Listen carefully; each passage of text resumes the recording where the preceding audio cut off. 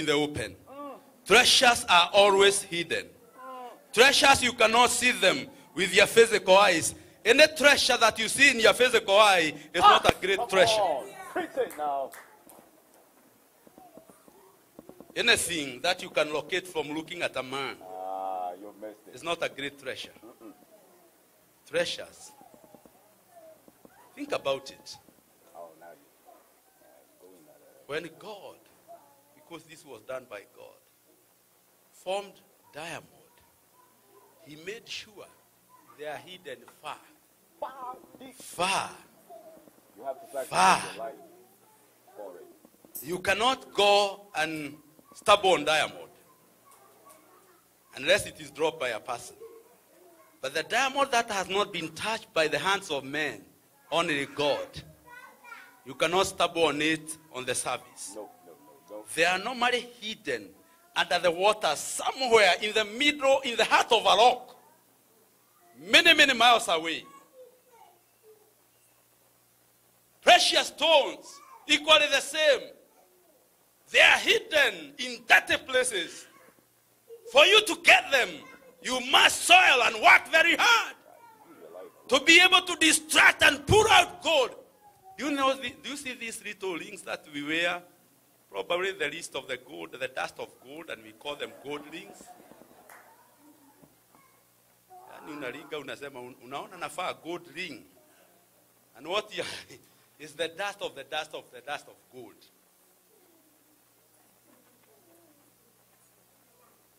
Real gold. I, I watch movies. People who mine gold in my brother's country, Congo, Kokoro. Those people go under the water.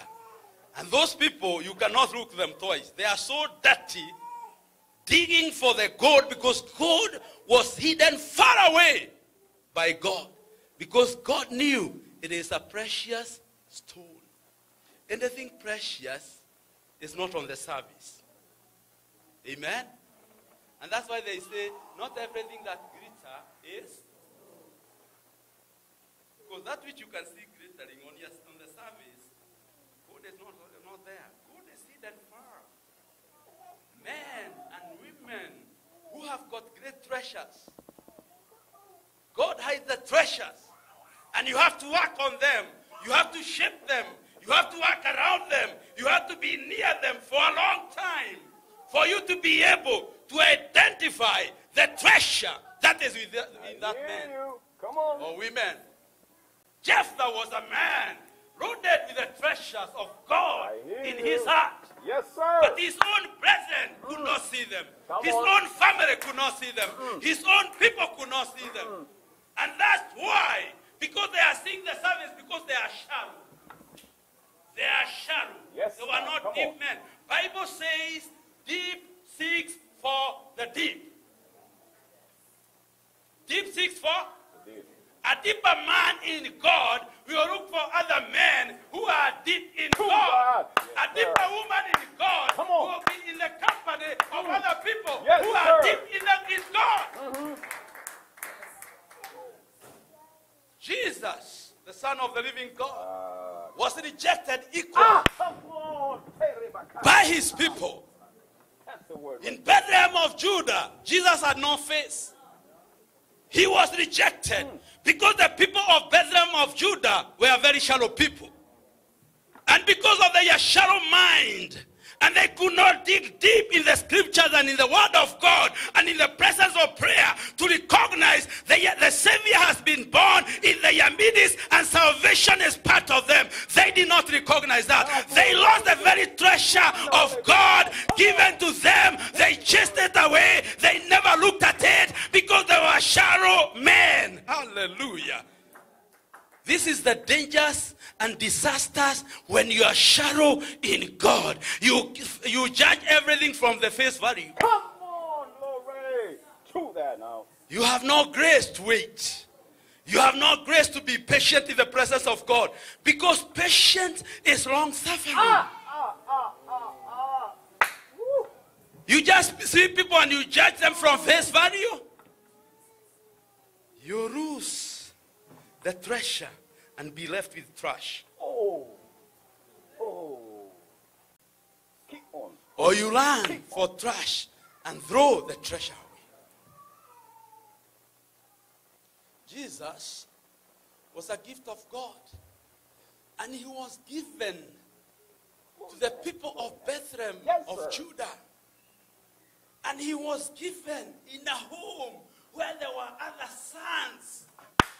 But it took a very long time, and there is evidence in the Bible, even for the sons of the home, to recognize the same. Oh my God. Remember, imagine Jesus given by God, and He's given to your home. Every single morning you wake up, the person you are rubbing shoulder with is Jesus. The person you are sharing a bowl with is Jesus. The person who you are sitting on the dining room with is God. Oh, oh, oh, oh, oh, oh, oh. What a But because blindness. of shallowness, you can't know. This is God. And hear me. Jesus is just like God the Father. If you have seen Jesus, you have seen God the Father. That is the name of the Lord. Bible says he said, He who has seen me has seen who? He was born in a home because he was wrapped. See, our problem is what is what we, we go for the wrapping more than the stuff that is wrapped. He was wrapped in a body like this one of mine. The name of the Lord. Or the body like that one of yours. And because he was wrapped in that body, and announcement was made. Angels came from heaven above to announce it to the men of Bethlehem and women of Bethlehem and to you. A Savior has been born. But because they were looking for, they had a wrong picture of a Savior. They were looking for what is wrapping the Savior. The Savior was wrapped with a body like that one of yours and that one of mine. God walked here on earth. God ate with them. God slept with them. Listen. James, his brothers, and the, and the other brothers that were in that home, they were eating with him the same meal, same food, and they were being taken care of by the same father, same mother, Joseph and Mary, but they never recognized Jesus as Lord. Bible says his brothers only came to know Jesus was Lord after he had died. After he had died. That three years, they never knew who he was. They never really took him serious. They never knew God is in their midst. They never knew heaven has favored them so much that God has opened his heart for them. They never knew. Same thing with Jephthah. Same thing with Jephthah. Simply because he was loved and born from a woman, Our prostitute. they had a problem accepting. Watch things that you don't accept. Watch. Watch things that you don't accept. Watch the things that you reject. Ah! Watch. Simply because he was born of this woman, they could not accept. They rejected everything about Jephthah. Little did they know Jephthah was their savior. Jephthah was the man of the season that God was about to use. No, there is always a man of the season. Hallelujah. But because of what wrapped Jephthah, they didn't like him that much. And Bible says clearly, they threw him away. Jephthah met other people who are also rejected because the community have a tendency Yes, of sir. rejecting mm. the good ones and taking the things that are good because we look things at the face value. This is loaded. Come on, preach it. There is no depth in us. There is no depth in prayer. There is no depth in the word. There is no seriousness in trusting God. There is no seriousness in waiting upon the Lord. Bible, the Bible summarizes the book of Judges very well. What was happening then? The last scripture in the book of Judges, if you can put us there. The very last scripture analyzes where the hearts of men and women were in the book of Judges, the last, the last very chapter of the book of Judges, last verse talks about what was going on. There you go. In those days, Israel had no. Everyone did What saw was feet. as he saw fit. That's a dangerous person. That is the danger. They did not seek the Lord. They had no room for God. What they desire to do is what they used to. And man and his flesh. Nyama.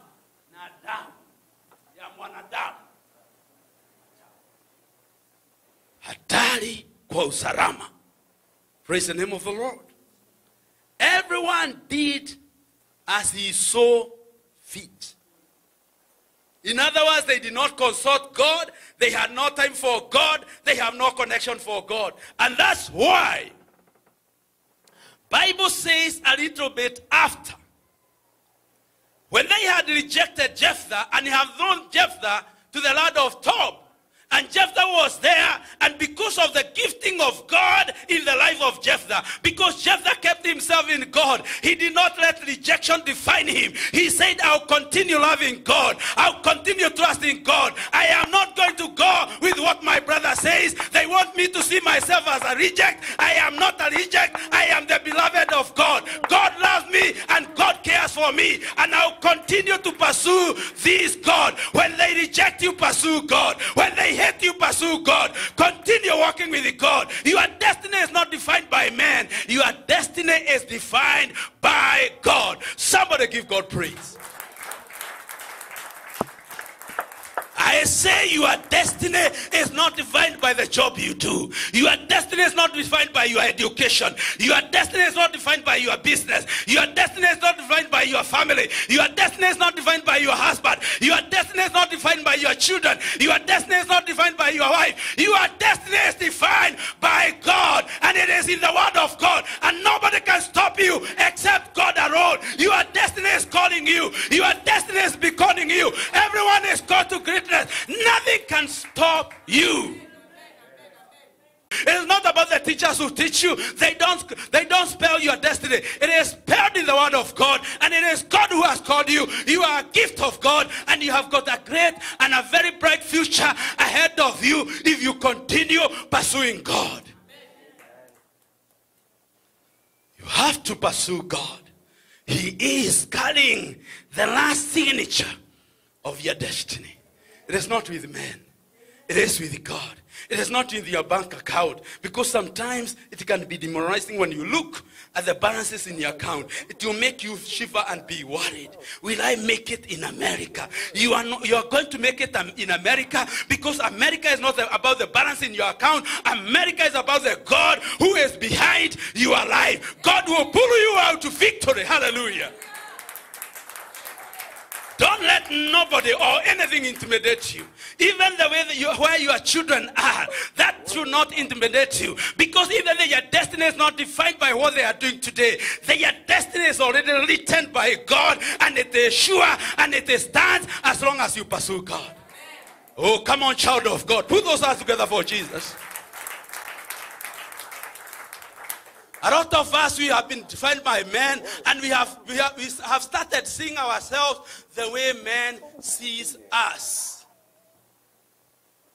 Jephthah refused, and I refuse to be seen the way people see me. You need to refuse to be seen, uh, to see yourself the way people see you. You have to see yourself the way God sees you, the way you are defined by the word of God. This is the true mirror. Any other is false. I say this is the true mirror. Any other is false. What the word of God says about you, that is what is true about you. Praise the name of the Lord.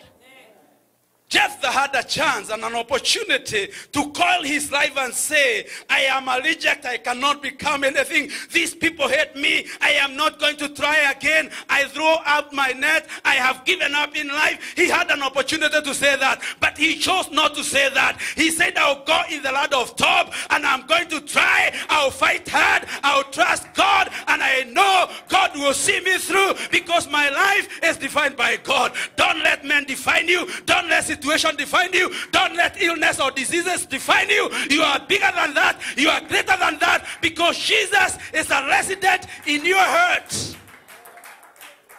You are just like God.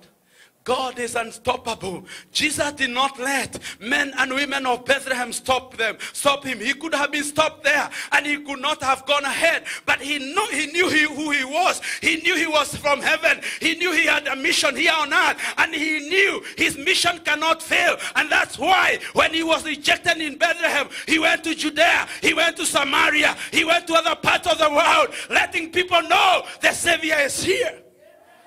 And today we are here because he did not give up. He did not give up on us, even after being rejected all the way to the cross. At, the, at last, they crucified him in rejection. But little did they know his crucifixion, they were provoking the power of God even to come in a bigger way that they have never seen. Like a flood, it swept them away, all of them. Even those who could not believe. When the darkness came, when the earth started shaking, when things started moving in the direction they cannot control, because what man wants to do with Ah, you on, is to control go. you. The greatest mission of the devil and man is to control you. It get to a place when the supernatural takes over, man have no control, can only obey and submit. Man dies for control. They want to control your life. They want to control your children. They want to control your marriage. They want to control everything about you. They want to control it. And be under their feet. But that's not where you belong. No.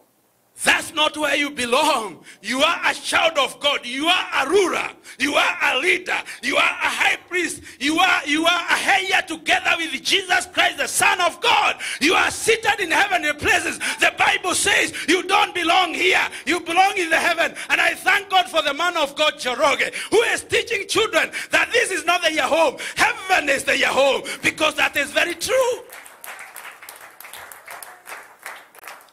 We must see the big picture. Hear me today. God, and I pray, may the Lord open your eyes that you may start seeing the big picture. You are bigger, you are greater than the way you see yourself. You are the answer to many issues that the world is going through today. You are the answer to many problems that the world have today. Because Jesus, who is the overall answer, lives in you. And Jesus at this hour and at this time, he wants to use you so that you may become the answer. The world is looking for answers. And the answer is with you. Because Jesus lives in you. Don't let anybody look down on you. Don't let situation look down on you. Don't let circumstances destroy you. You destroy them. Amen. Bible says God told Zerubbabel, this mountain you see, you are going to do what? You are going to do what? You are going to destroy this mountain that you are seeing.